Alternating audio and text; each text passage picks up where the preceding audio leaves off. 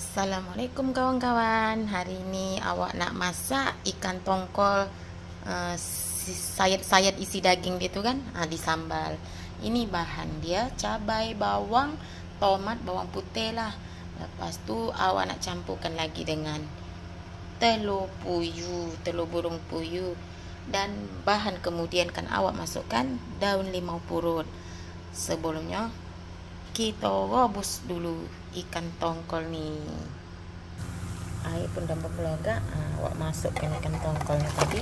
Masukkan garam sedikit semasuk goreng ikan kang ikan awak ni tak tahu. Oke ini ikan tongkol yang awak dah rebus tadi. Ikannya ikan awak sayat-sayat isi aja lah ambil isi yo kita buang tulangnya yo oke kawan ini ikan yang kami dah asingkan tulangnya tadi ambil isinya aja nah, kami akan gelumangkan dengan nih kunyit yang udah kami tumbuk dengan garam. Biar nanti warna sambal kita cantik ya guys.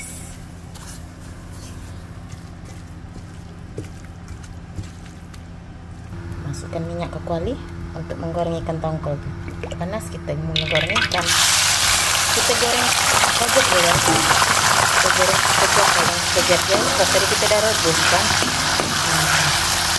nanti kalau terlalu nanti kalau terlalu lama kita goreng lihat kita. Kita tangkap yang terlalu garing ya guys. Nanti lihat. Tujuh pun kita goreng punya diangkat. Dan mula bergaduh dengan lesung guys.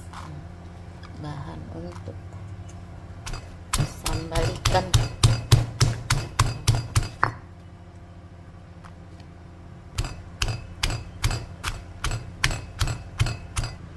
dah lumat kita masukkan tomat pula. Kita tumbuk pula tomat ya kawan tomat ni lah sekali.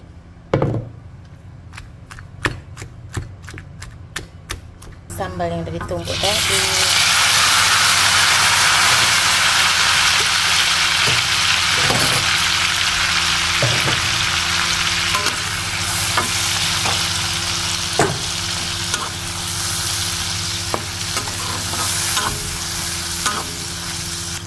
masukkan daun limau yang dawa iris-iris tadi ya. Daun limau purut garam secukupnya dan gula secukupnya.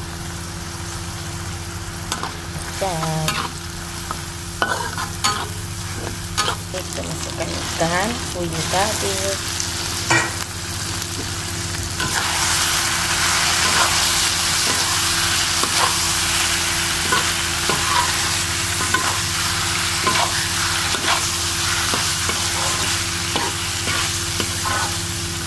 ikan tongkol sambal campur telur puyuh siap guys.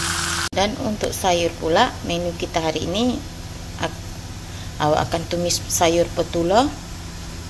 Nah, ini bahan dia cabai bawang lah daun salam tomat jahe nah, peronca dia awak mas masukkan minyak untuk menumis.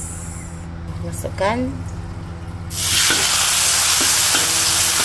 Masukkan udang